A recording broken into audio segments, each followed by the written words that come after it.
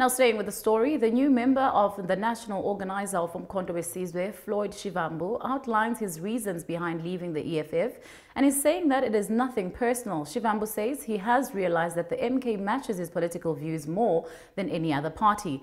Floyd, who is under the member of the EFF, or rather the founder of the EFF, announced his exit from the party last week. Useqokwe njengomhleli jikelele weqembu lomkhonto wesizwe osanda kushiya isikhundla sobusekela emangameli kwi-EFF uFloyd Shivambu. uShivambu uthi izizathu zokushiya kwakhe eqenjini alekelela kulisungula ukuthi uthanda indlela iqembu lomkhonto wesizwe lizimisele ukuletha ushintsho ezimpilweni zabantu abansundu nabahlwempu bakuleli. There is absolutely no doubt that the liberation movement is no longer existing in the form that it's supposed to. It has been captured totally.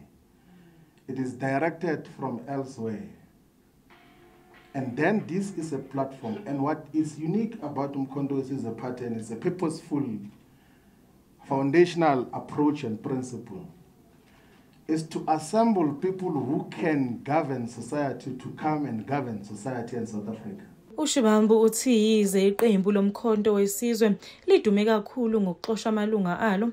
Uma-ke kufika isikhathi sokuba ahlehliswe esikhundleni asinikiwe uzoqhubeka nokuba yilunga laleli qembu. Ezindabeni zesoweto tv ngikunokulunga mthembu ngisesenten